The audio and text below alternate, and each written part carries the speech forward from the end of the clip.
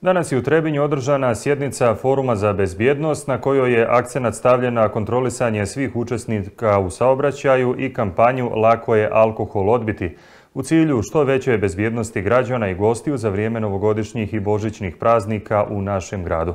Podsjećamo, kampanju Lako je alkohol odbiti provode Ministarstvo unutrašnjih poslova Republike Srpske, Ministarstvo saobraćaja i veza, Agencija za bezbjednost saobraćaja i Automotosave Srpske.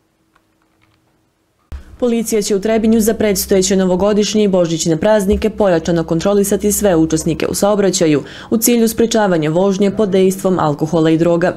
Poseban akcenat stavljen je na kampanju Lako je alkohol odbiti.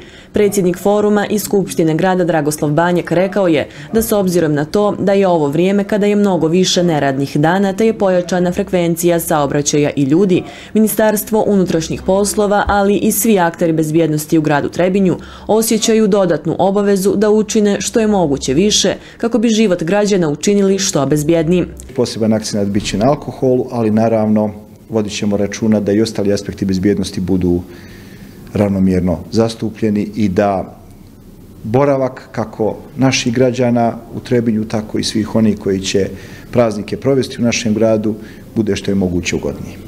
Veselin Milićević, komandir policijske stanice Trebinje, podsjetio je da policija do 20. januara naredne godine provodi pojačane aktivnosti u cilju podizanja bezbjednosti građana i njihove imovine.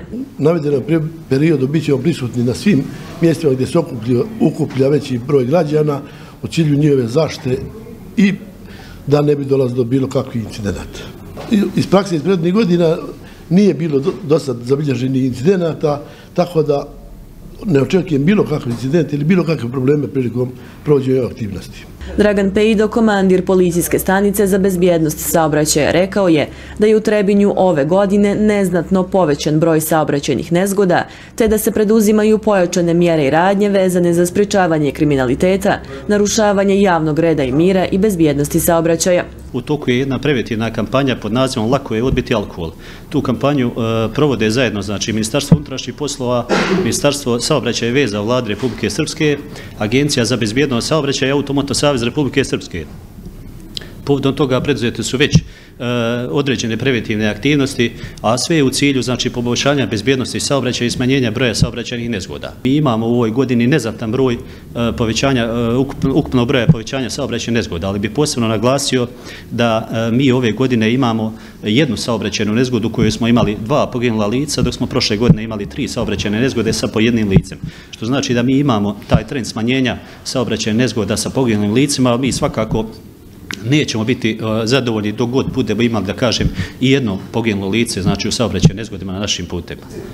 Podsjećamo kampanju Lako je alkohol odbiti provode Ministarstvo unutrašnjih poslova Republike Srpske, Ministarstvo saobraćaja i veza, Agencija za bezbjednost saobraćaja i Automoto Savez Republike Srpske.